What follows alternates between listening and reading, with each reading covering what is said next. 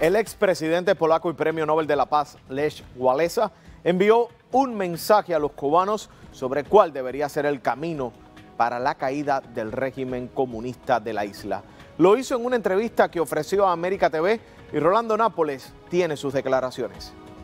Lech Walesa, expresidente de Polonia, fundador del movimiento Solidaridad y figura clave en la caída del comunismo en ese país, dijo hoy en entrevista con América TV que los cubanos deberían tomar el impulso tras la rebelión del 11 de julio en la isla y organizarse mejor para acabar con el régimen comunista de la familia Castro en Cuba. Lo más importante es organizar los centros de trabajo, pero eso hay que organizarlo muy bien.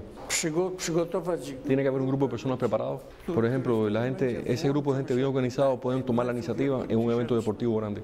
O ese mismo grupo de activistas bien organizados puede infiltrarse en un acto oficial del régimen de masa y virarse del régimen.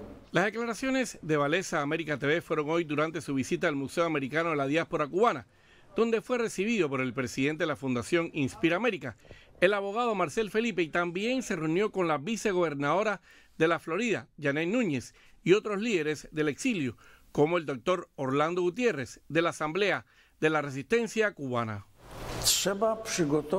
Tienen que preparar programas específicos. Tiene que haber un programa específico para cada pueblo, para cada ciudad.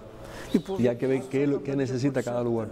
Tiene que haber un plan, qué hace falta en cada lugar. Una factoría, una panadería, hay que ver qué hace falta en cada lugar. En su visita a Miami, el expresidente polaco ofrece este martes a las 7 de la noche un conversatorio en la Universidad Internacional de la Florida, un evento convocado además por la Fundación Inspira América.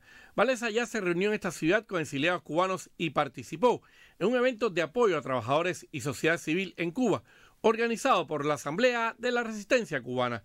El Premio Nobel de la Paz recibió también las llaves de la ciudad por parte del alcalde Francis Suárez. En el programa Fondo América TV, espere más detalles de esta entrevista al fundador del movimiento Solidaridad en Polonia. Rolando Nápoles, América Noticias.